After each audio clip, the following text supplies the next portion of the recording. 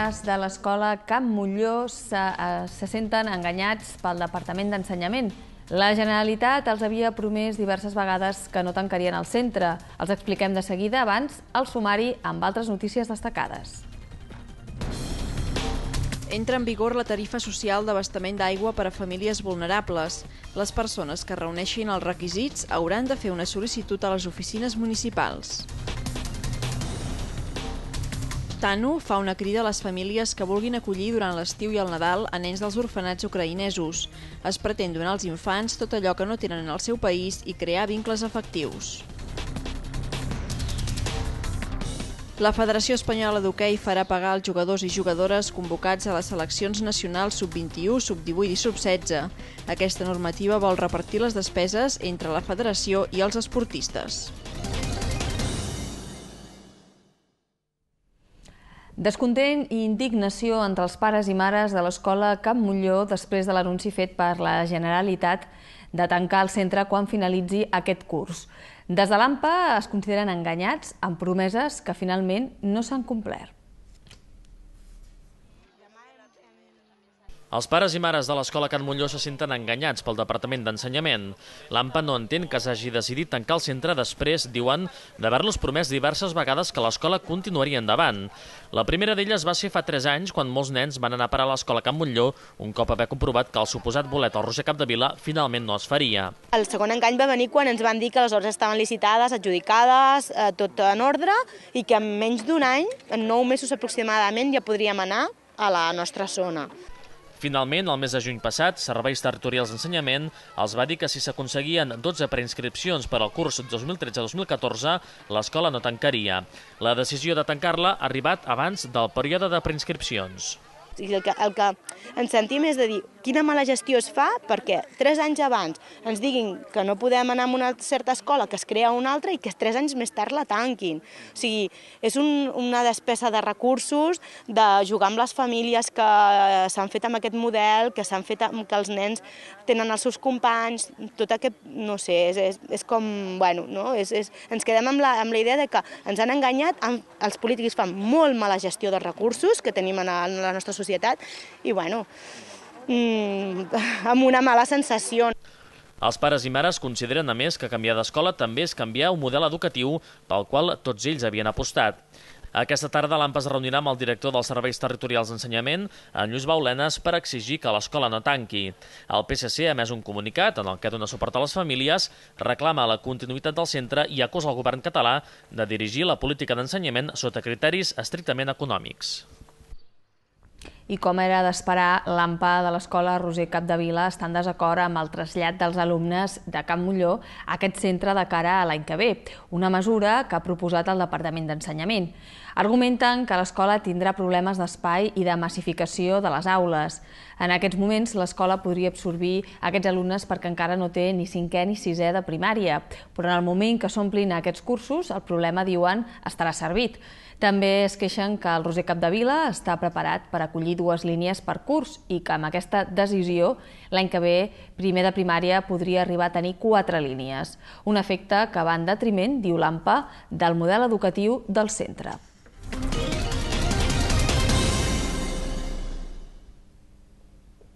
Normalitat aquest matí en el Palau de Justícia de Terrassa, malgrat la convocatòria de vaga convocada pels jutges, magistrats i fiscals a nivell estatal contra el ministre Ruiz Gallardón, mentre que diversos jutjats del país s'han secundat la protesta amb concentracions a les portes de les principals seus. A Terrassa s'han continuat fent els judicis i les declaracions programades com d'un dia més es tractés. Aquesta era la tercera vaga judicial en democràcia i la segona en menys d'un any. Les noves taxes judicials són al centre de la protesta, tot i que hi ha altres punts de desacord amb el Ministeri de Justícia i els professionals d'impartir-la.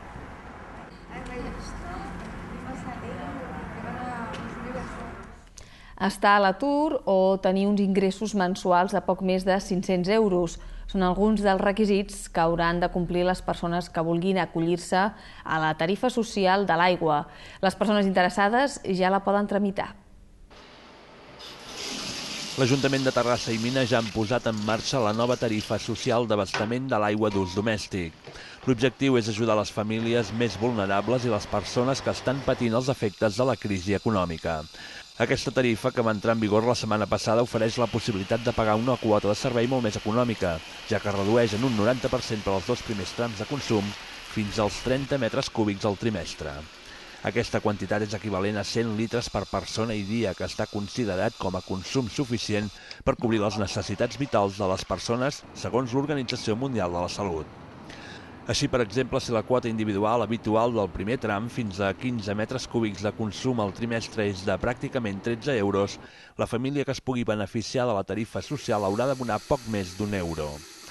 Per poder acollir-se a la tarifa social caldrà complir una sèrie de requisits, com ara tenir uns ingressos anuals iguals o inferiors a l'indicador de renda de suficiència, que és de 569 euros mensuals. Les persones que vulguin sol·licitar la nova tarifa social han de presentar una instància a les oficines d'atenció al ciutadà, acompanyada de tot un seguit de documentació. Per a les persones que reuneixin els requisits, l'Ajuntament es compromet a aplicar la nova quota social abans de 3 mesos a partir de la sol·licitud. Unimbank va tenir pèrdues per valor de 869 milions d'euros al 2012. Això ha declarat a la Comissió Nacional del Mercat de Valors. La xifra duplica la del 2011, quan es van perdre 469 milions d'euros. Fons de l'entitat han atribuït l'increment a l'elevat volum de provisions i sanejaments, als costos de reestructuració i al negoci assegurador.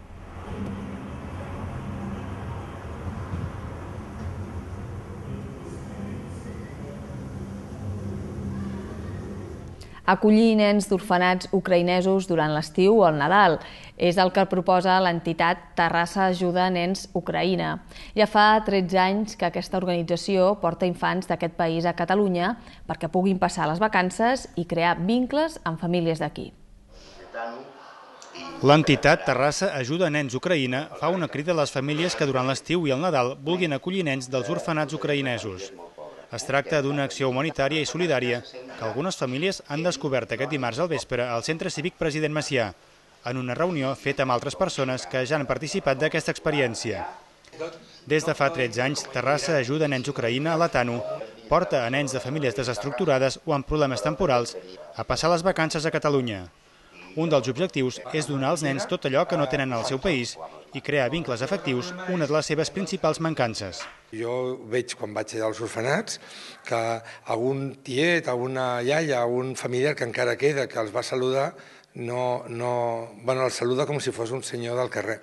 No hi ha, no hi ha efectivitat. I és molt important conèixer aquesta relació d'efectivitat entre un adult i un nen, entre una família i un nen, perquè si no després no, pos, no es pot construir aquest model. Cada any, unes 50 famílies acullen nens ucraïnesos, unes 20 famílies menys d'abans de la crisi. L'organització fa una crida a tot tipus de famílies catalanes perquè acullin durant les vacances nens i nenes de 6 a 9 anys. Una experiència que fa que moltes famílies repeteixin. El que el nen valora molt és la protecció. És que veu que algú s'ocupa d'ell i això és el més important. Perquè un nen, eh, per molt autosuficient que sigui, per molt que la vida li hagi ensenyat doncs, saber-se despavilar, no deixa de ser un nen i té les mateixes necessitats que un nen d'aquí, que bueno, tots els nens doncs, tenen les mateixes necessitats. És una relació, per mi és un fill més quan està aquí, tot i que jo he viatjat allà i conec a la seva mare i a la resta de germans, però quan està aquí ell em diu mama, eh, li diu papa al meu marit i, i és que és un fill més. El dia que marxen és molt trist, pots trucar-los per telèfon, pots parlar amb ells, no sé, és, és molt especial.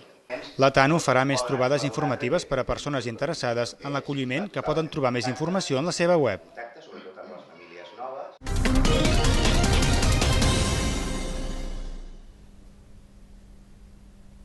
Els jugadors i jugadores d'hoquei que siguin cridats per jugar amb les seleccions nacionals sub-21, sub-18 i sub-16 hauran de pagar un cànon. Això ha decidit la Federació Espanyola d'Hoquei, que ha patit una retallada dràstica de subvencions. Una decisió polèmica que ha generat moltes crítiques. La Federació Espanyola d'Hoquei farà pagar tot jugador i jugadora que sigui cridat en una convocatòria de les seleccions nacionals sub-21, sub-18 i sub-16. En un comunicat oficial, aquest organisme argumenta aquesta decisió per la reducció tan dràstica que ha patit de les subvencions procedents del Consejo Superior de Deportes.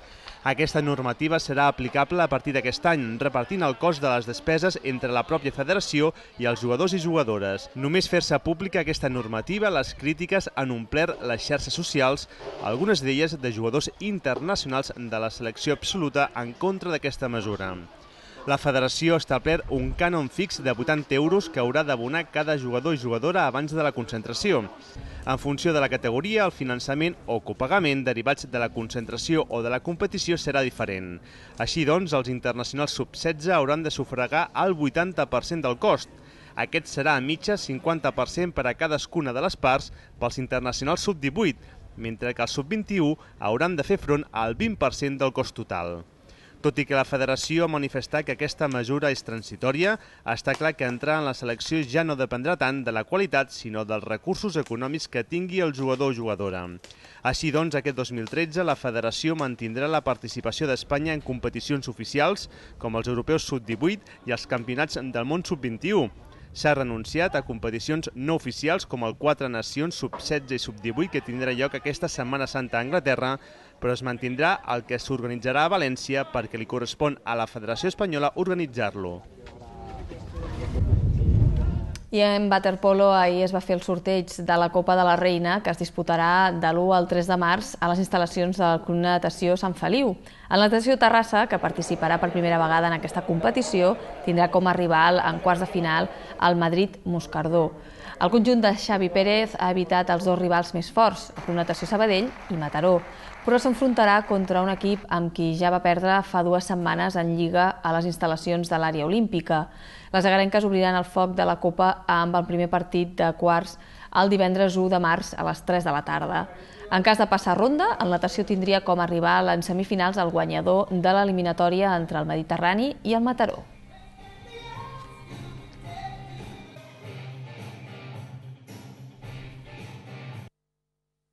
Hem evitat el, el Sabadell i hem evitat el Matador, que eren els dos equips que, que parteixen com a favorits per aquesta competició i qualsevol dels altres que, que ens toqués ja, ja ens anava bé, sobretot perquè és la primera vegada que, que l'equip i l'entitat es classifica per una competició com aquesta i el fet només de poder jugar un partit ja, ja ens estava bé.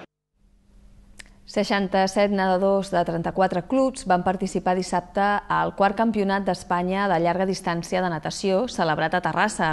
Tot i que els nedadors del Natació Terrassa no van pujar al podi, van fer un bon paper. El Club Natació Terrassa va organitzar dissabte el quart campionat d'Espanya de llarga distància de natació, amb la participació de 67 nedadors de 34 clubs d'arreu de l'estat espanyol. La competició s'estructurava en tres categories, infantil, sobre una distància de 3.000 metres, júnior i sènior, aquestes dues últimes sobre 5.000 metres.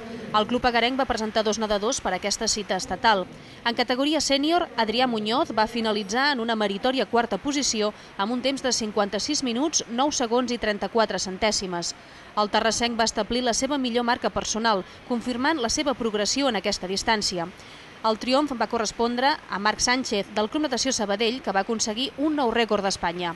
Héctor Ruiz, del Mataró, i Thomas Nelson, del Mediterrani, van completar el podi. A la prova femenina, Clàudia Dasca, també del Club Natació Sabadell, va imposar-se amb molta facilitat, establint un nou rècord d'Espanya de la distància. Luis Amar Morales, de Les Palmes, i Llorema Requena, del Vilareal, van penjar-se la medalla de plata i de bronze respectivament. El segon nedador del Club Natació Terrassa en participar va ser l'infantil Àlex Ramos, que va acabar en novena posició la seva primera experiència en la llarga distància. Guillem Pujol, de Lloret, i Carolina Prades, del Costa Zar, van ser els vencedors d'aquesta categoria. En júniors, els campions van ser Pol Gil, del Vallirana, i Carmen Herradón, del Madrid Moscardó. El Club Natació Sabadell i el Galaico van adjudicar-se la classificació masculina i femenina per equips respectivament. I en bàsquet, victòria del Sant Pere davant l'Esfèric en el derbi de recent de la darrera jornada. Els dos equips agarencs sumen les mateixes victòries i derrotes, però els de Xavi Camacho guanyen per l'avareig particular. D'altra banda, el natació va perdre, però continua líder al grup tercer de primera catalana. Amb la banya, si no s'olvida d'ella. El Sant Pere continua immers en una gran dinàmica de joc i de resultats i dissabte va sumar la seva sisena victòria consecutiva. Aquest cop un triomf de prestigi en guanyar a domicili l'esferi per 59 a 76, superant els de la Sagrada Família en la classificació. Tots dos equips sumen 13 victòries i 6 derrotes, però els de Xavi Camacho, tercers, tenen guanyat el bàsquet a veraix particular. Derbi amb clar color visitant amb un Sant Pere amb les idees molt clares en atac i amb un Albert Vidal molt inspirat. L'exjugador de l'esfèric va anotar 21 punts, amb cistelles des de totes les distàncies i per a tots els gustos. Només en moments molt puntuals el conjunt de Manel Blanco va saber reaccionar, però ofensivament la seva aportació va ser insuficient. Tot i apropar-se en el marcador a l'inici del segon temps, el Sant Pere va tornar a demostrar el seu gran moment de forma. Per la seva banda, el Natació Terrassa va sumar la quarta derrota a la Lliga en perdre per 71 o 66 a la pista del Tecla Sala. Tot i això, els de Vicente Gómez es mantenen líders del grup tercer de la primera catalana, però ara empatats a punts amb el Gavà, que no va fallar davant el Viladecans. L'assessoria Vallparadís disputarà les semifinals de la Copa Catalana de Corval. El conjunt terrassenc s'ha classificat després de vèncer el Montcada al pavelló del Sant Llorenç. El seu proper rival sortirà de l'eliminatòria entre el Vilanova i el Vacarisses. L'assessoria Vallparadís ja està classificat per les semifinals de la Copa Catalana de Corval després de derrotar aquest dissabte el Montcada per 9 a 21 en la primera eliminatòria de quarts de final disputada al pavelló de Sant Llorenç. Com era de preveure, el conjunt de Miguel Ángel Tobaruela no va tenir excessius problemes per passar ronda en la competició. Només durant els primers 18 minuts de la primera meitat el Montcada va aguantar el ritme imprès pels agarencs, amb intercanvi constants de cistelles. Un tempteig de 4 a 6 deixava el partit obert, però un parcial 2 a 6 va encarrilar el triomf del Vallparadís Paradís, que al descans guanyava per 5 a 12. Els terrassencs no van haver de patir per la victòria en el segon temps gràcies a la seva regularitat en el joc. Míriam González i Miguel Guerrero van ser els màxims anotadors del partit amb 5 i 4 punts respectivament. En semifinals, el Vallparadís s'enfrontarà amb el vencedor de l'eliminatòria entre Vilanova i Vacarisses, que jugarà el proper cap de setmana. Qui també ja està classificat per les semifinals és el Castellbisbal, que en quarts de final s'ha desfet del Badalona per un clar 27 a 11. El conjunt de Luis Rosa es veurà ara les cares amb el Barcelona, que ja està classificat directament per les semifinals. Lleida serà l'escenari de la final i les semifinals el 2 i 3 de març.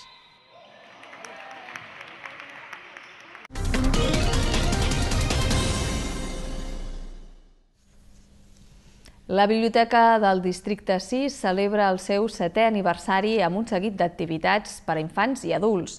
Una mostra audiovisual sobre els 7 anys de funcionament, una exposició de dibuixos elaborats per nens i nenes de l'escola Joan Marquès Casals, una hora del conte i un taller de decoració de muffins són alguns dels actes programats fins al 28 de febrer. La B de 6 va ser la tercera en construir-se dins el Pla Municipal de Biblioteques.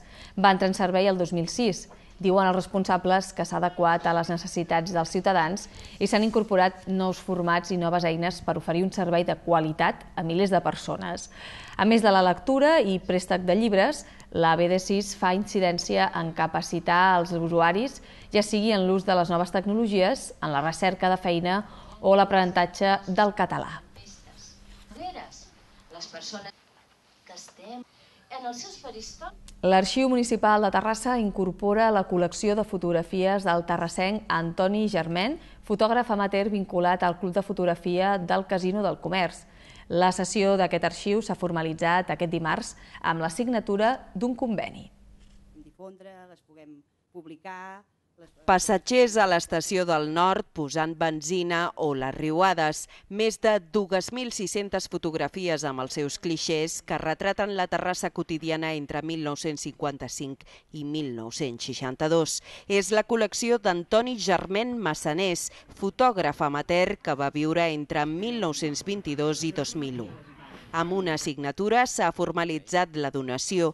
Josep Germain, fill de l'autor, explica que s'ha dit les imatges a l'arxiu municipal per posar-les a disposició de tothom que hi tingui interès. De fet, ja s'han digitalitzat mig miler d'instantànies. Em sembla que, que com a mínim algunes d'aquestes, algú, algun dia o altre, doncs, li poden interessar, doncs més val que estiguin en un lloc a disposició pública i que per tant doncs, tinguin aquesta utilitat. Normalment els arxius es nodreixen de fotografies oficials realitzades per professionals i s'obliden d'aquesta mirada més domèstica i quotidiana. Per aquest motiu aquestes imatges enriqueixen el fons i l'humanitzen.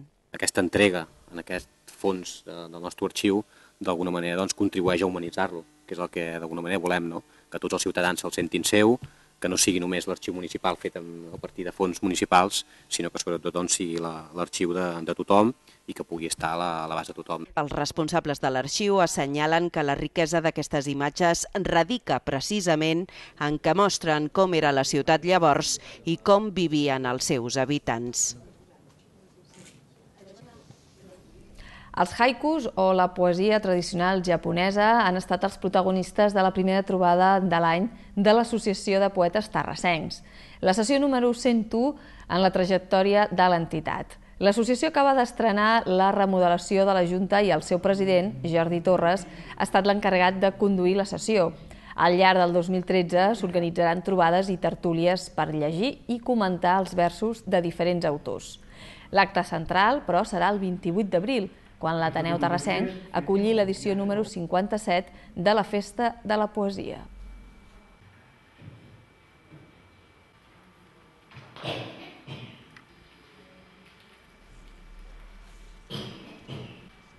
Aquest dimarts el Cinema Catalunya ha tingut una catifa vermella molt especial. La botiga de roba infantil Buben, ubicada a la Rutlla, ha organitzat una desfilada de vestits de comunió. La festa ha estat batejada com a Red Carpet i han participat una quarantena de nens i nenes amb models d'Elian Helena, Rubio Kids, Le Chic i Buben. La gala ha estat presentada per dos joves presentadors i ha comptat amb la col·laboració d'altres establiments de Terrassa, com ara Llongueres Elit, Mix Sabates o la joieria Núria Castelló. Amb imatges d'aquesta desfilada ens acomiadem. Tenen més informació al terrassadigital.cat. Gràcies per la seva atenció. Fins demà.